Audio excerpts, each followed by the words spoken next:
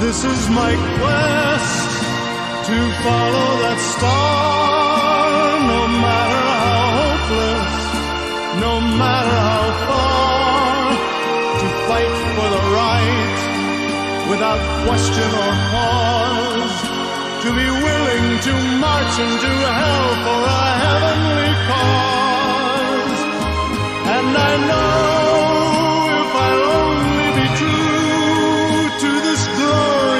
glorious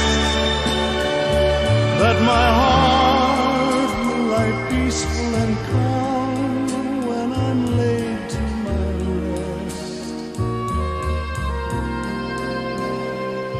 And the world will be better for this.